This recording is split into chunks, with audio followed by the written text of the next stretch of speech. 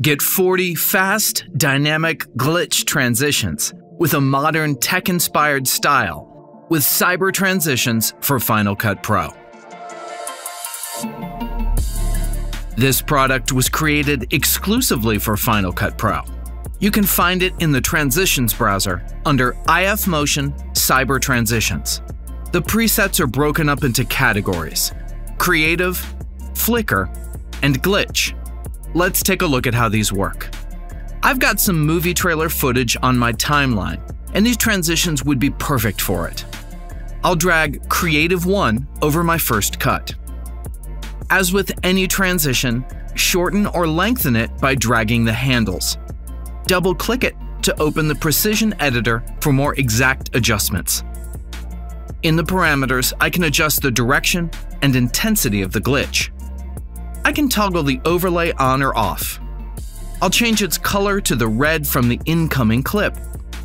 Plus, I can adjust its opacity and its glint effect. Below this, there are further prism and glint effects I can toggle on or off or tweak to taste.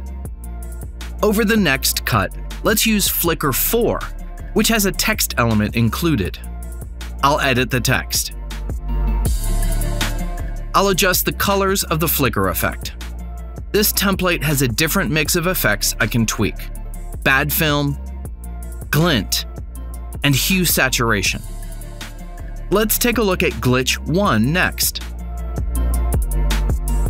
I'll adjust the tint colors to go with that same red I chose earlier. I'll adjust the hue saturation, glint, and prism effects to taste. Now that you've seen how easy these are to customize, I'll finish out the rest of the timeline with a variety of different presets. I love how they look great in their default state, but the included effects and distortions give you almost infinite variations of looks for your footage. I just elevated my trailer with these transitions. They'll come in handy on all sorts of different footage.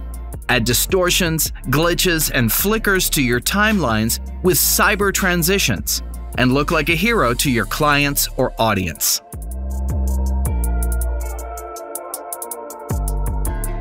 Download a free trial today right from the FX Factory application.